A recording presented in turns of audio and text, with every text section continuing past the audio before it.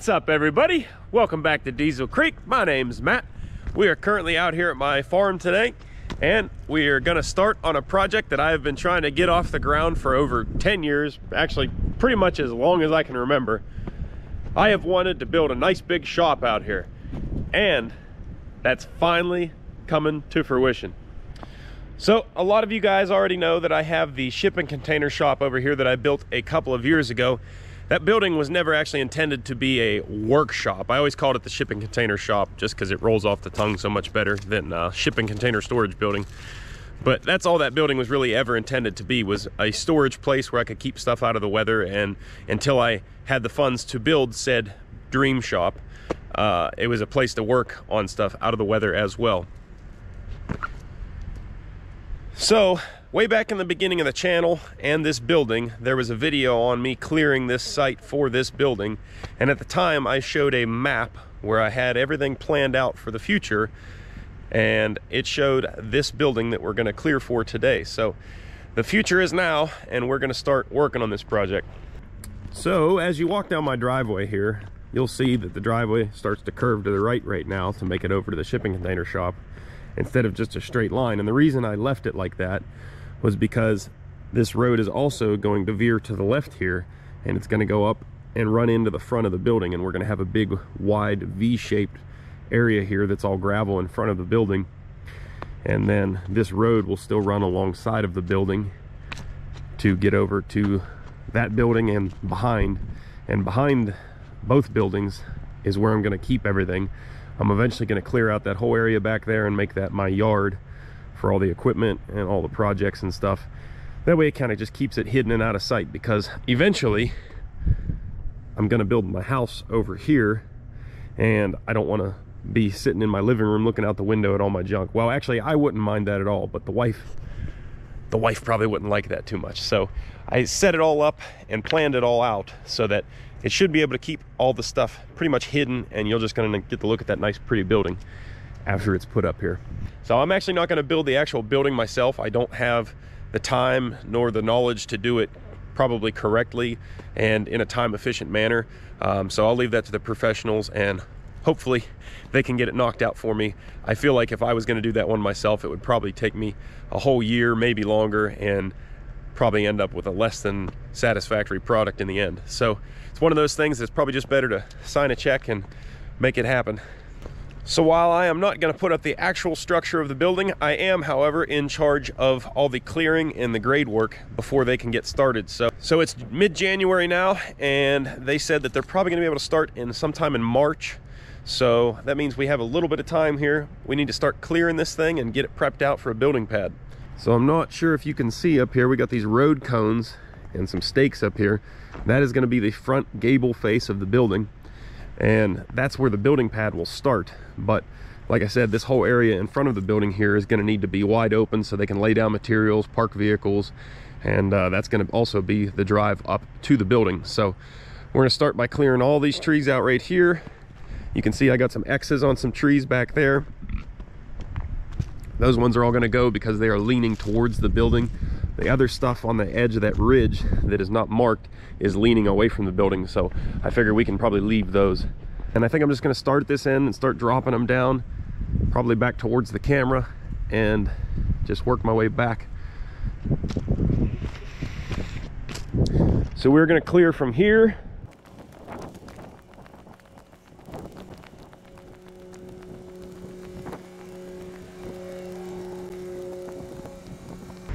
all the way to here for right now. That's what I'm gonna focus on. And this is just the important part that I have to have done before they can start construction. So eventually after the building's up, I'm gonna start working on clearing out this area over there and pretty much where you see those tractors sitting back there, that'll be the, the back of my equipment yard. Anyways, let's go ahead and already have the excavator warming up. We can get it greased up, fueled up, and we can start knocking down some trees.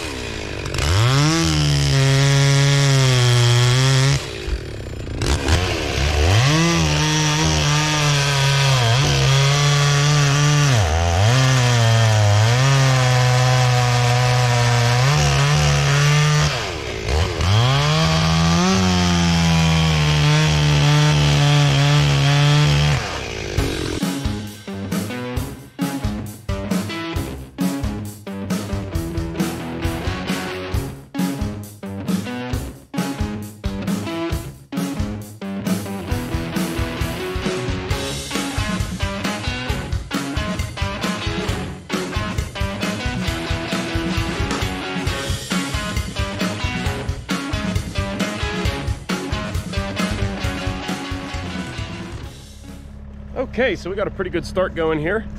Now, I do have a system, contrary to what it may look like. I knocked down so many trees as to where uh, they're not all jumbled up on each other too badly and I can actually get in there and work with them still. And rather than taking down one tree at a time, that makes it easier so I'm not hopping in and out of the machine constantly because I don't have somebody on the ground with the saw bucking them up as I go. So in this case, I knocked down, what, eight or nine of them here and that was enough to uh, fill up the area and all the other ones right in the direct vicinity would have come down on top of them and just made it hard to work with. So, so all the tops that we cut out and all the tree stumps will eventually make their way over there next to the Autocar to be burned. Um, but rather than just carry each one over there individually, I will uh, just kind of sort them into smaller piles and keep moving with the excavator and then come back and clean them all up at the end once so we got a lot of work to do yet. We're maybe a quarter of the way cleared and uh, let's just keep on trucking.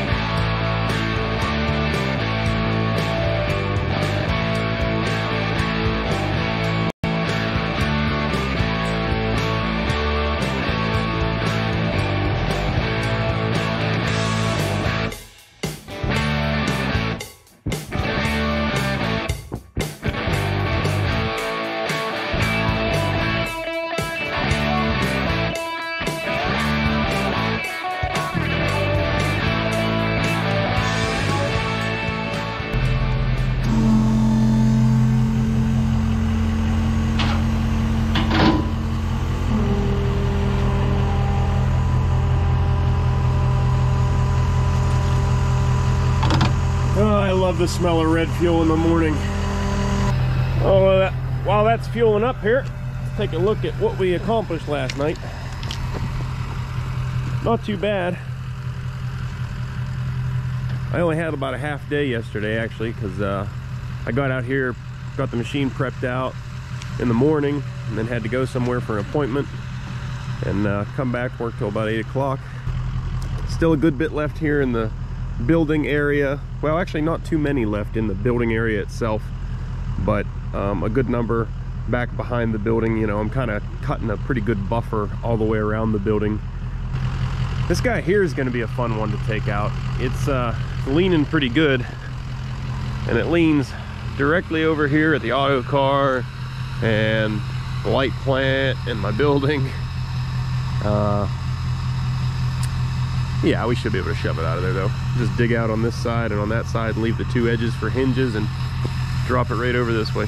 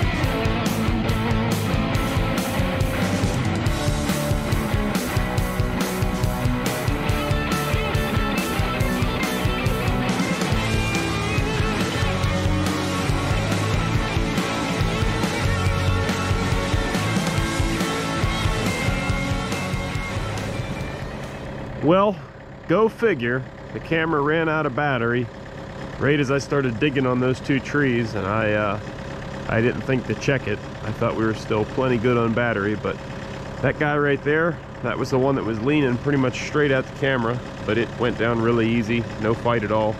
I just notched the uh, front and back of it, left the two left and right sides as a hinge, and uh, pushed it right over. Didn't fight me at all pretty much the same deal with the cherry there. Nice and easy, but uh, yeah, it's a bummer you guys didn't get to see it. Anyways, now we got a big mess. Let's clean it up.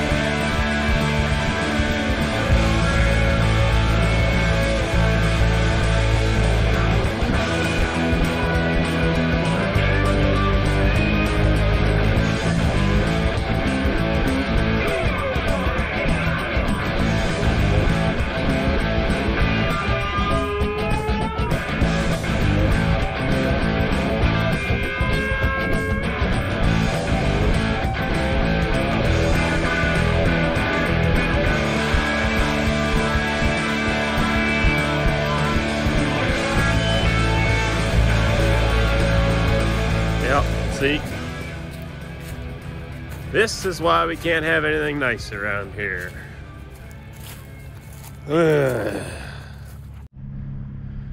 Well, we're making some significant progress here. everything's going really well. I'm probably about three quarters of the way through the clearing. I have a few more trees over here on the edge to cut out, plus a few more down there where the excavator is still sitting, but uh, I need to clean up the whole area here so I can get these, a few drop this way. I'm gonna take all these logs and uh, put them up in my stockpile. I don't know if you can see it over top of the car there. I got a big log stockpile over there.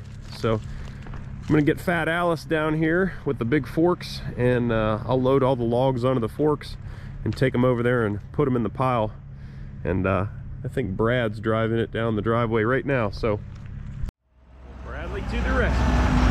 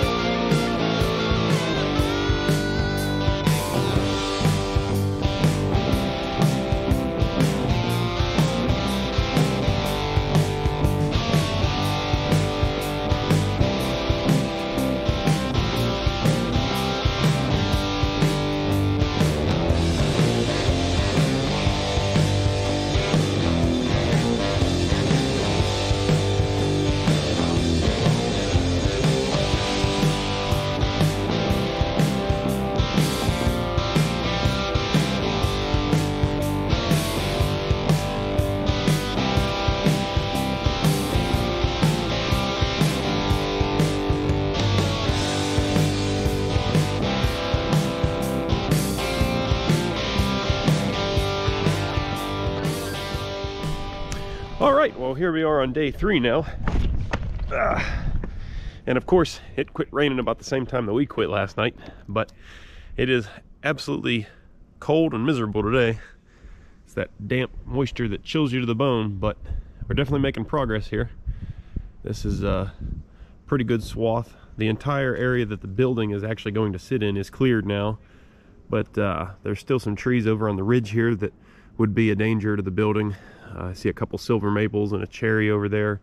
We're going to take those out and several more over here and behind me. I think there's, I counted last night, I think there's around 20, 20 more trees we got to take out to give me a working area around the building and uh, just a, a, buffer to keep from having branches and limbs or maybe a whole tree fall onto the building. So without further ado, let's fire up the hoe this morning, shake the cold off and start ripping and tearing.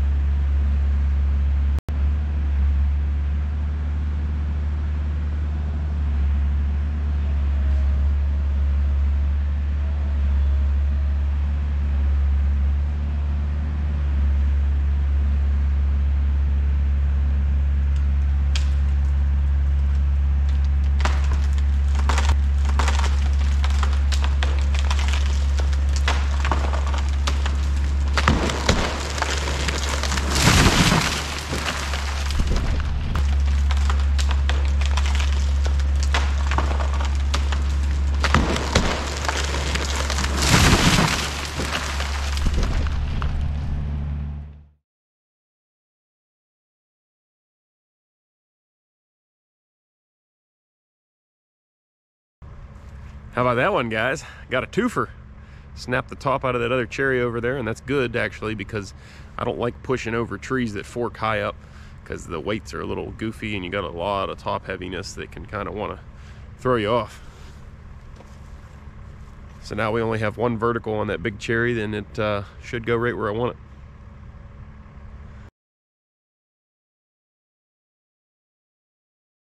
it. Well, these are some pretty good sized root balls. I was hoping that I was going to be able to shift this one a little bit further left and drop it right next to that root ball, but because it got hung up in that other cherry, I couldn't make it happen. My machine here, it's, it's pretty much an ideal size for what I usually use it for. But When I start getting into clearing like this with uh, bigger diameter trees, she's really just a bit undersized.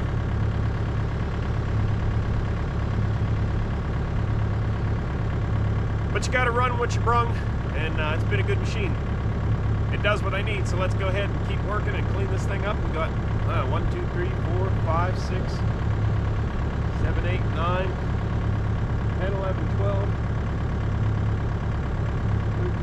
14 more trees to go. Maybe 15.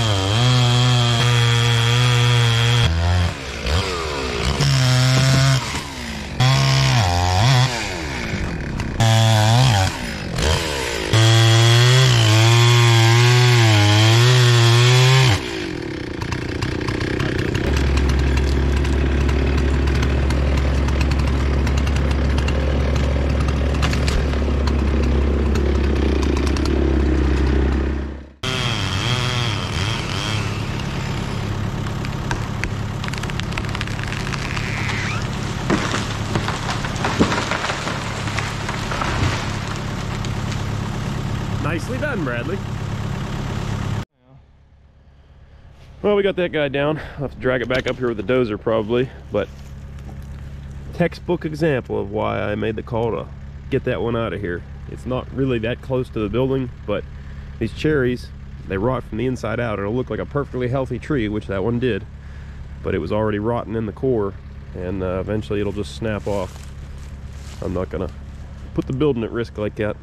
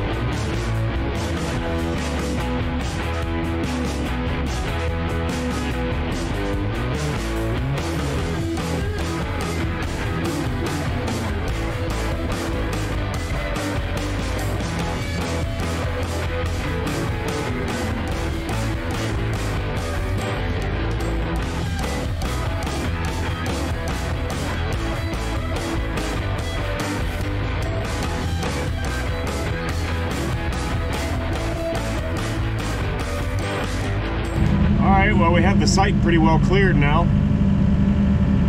Got three more trees left to do here. We got this guy and these two. I figured I'd take you along for a little in cab here and uh, yeah. It's always nice to finally like cross a finish line with a project like this.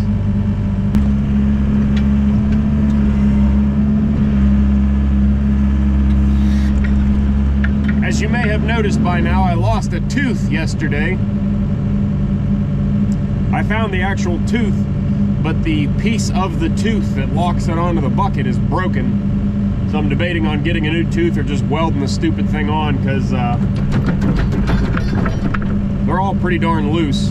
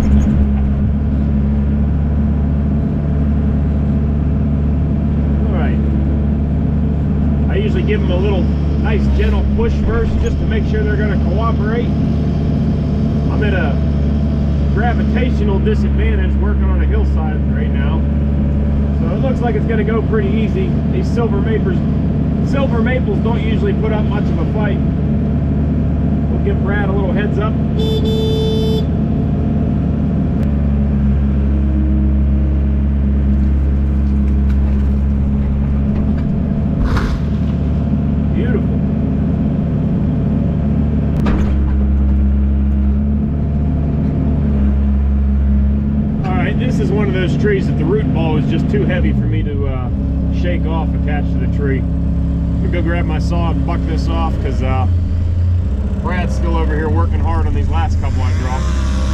Quite a jungle over there right now.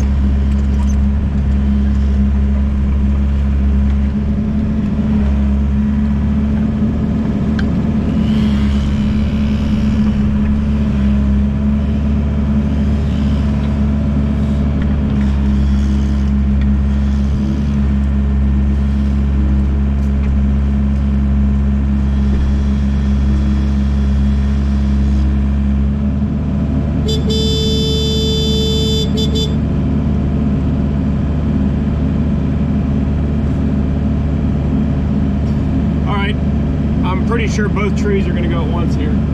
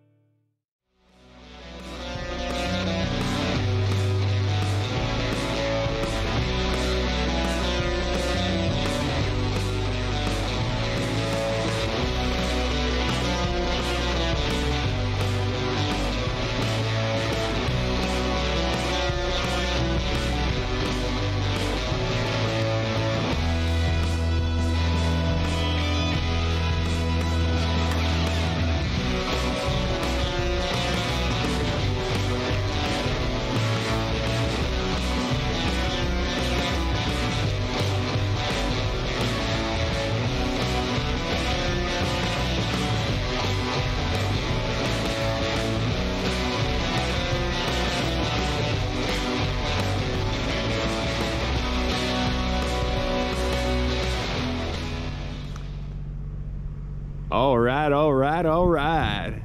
Check that out, guys. That is officially a cleared slate now. There's still lots of work to be done here though. We're nowhere near finished, of course. We gotta strip off all the topsoil yet. I did take the skid steer there and push all the uh, really dirty, dirty stuff down there at the end. And uh, when I push up the rest of the topsoil, I will keep it separate. That way I have a pile that's not too full of sticks and debris that I can uh, dress things up with later down the road or sell. All right, so I was able to get all this accomplished, even in spite of a couple minor breakdowns. I don't know if you can see the wheel loader sitting off in the background there with a full load of logs on it still. Uh, the fuel filter must have either frozen or clogged up on it, and it just won't allow any more fuel through. So we'll have to pull that off there and get a new one of those on tomorrow.